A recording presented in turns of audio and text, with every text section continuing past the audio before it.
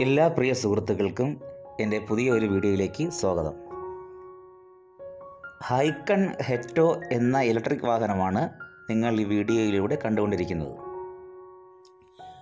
കായംകുളത്ത് നിന്നാണ് ഈ വാഹനം വർക്ക് ചെയ്യുവാനായി കൊണ്ടുവന്നിരിക്കുന്നത്. ആദ്യമായിട്ടാണ് ഒരു ഇലക്ട്രിക് ഓട്ടോറിക്ഷ ഞങ്ങളുടെ വർക്ക്ഷോപ്പിൽ പണി ചെയ്യുവാനായി കൊണ്ടുവരുന്നത്. ഈ വാഹനത്തിന്റെ ഫീച്ചേഴ്സ് പെർഫോമൻസ് എന്നിവയെക്കുറിച്ചുള്ള യാതൊരു ആധികാരികമായ അറിവും എനിക്കില്ല. അതുകൊണ്ട് ആ വിഷയങ്ങളിലോട്ടൊന്നും ഞാൻ കടക്കുന്നില്ല. പിന്നെ എനിക്ക് പറയാനുള്ളത് എന്തെന്ന് വെച്ചാൽ ഇതിന്റെ വർക്കിനെ കുറിച്ചാണ് ബജാജ് ഓട്ടോറിക്ഷയുടെ എത്ര വലിപ്പമേ ഈ വാഹനത്തിനുമുള്ളൂ.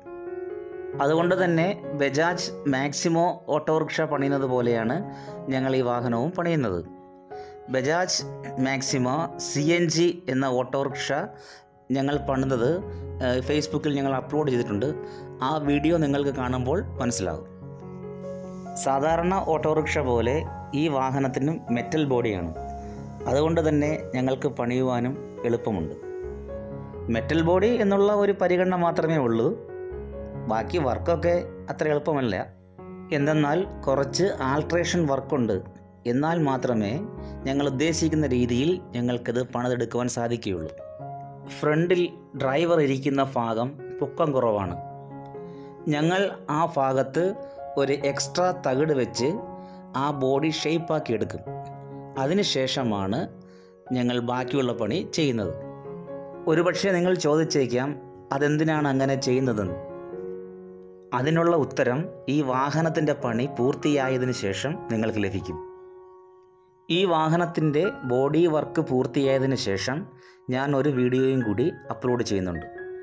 ഇപ്പോൾ എന്തിനാണ് ഈ വീഡിയോ ചെയ്തത് എന്ന് ചോദിച്ചാൽ നിങ്ങൾക്കാർക്കെങ്കിലും ഈ വീഡിയോയിൽ കാണുന്നത് പോലെയുള്ള ഓട്ടോറിക്ഷ ഉണ്ടെങ്കിൽ പണിയുവാനായി ഞങ്ങളെ സമീപിക്കാവുന്നതാണ്.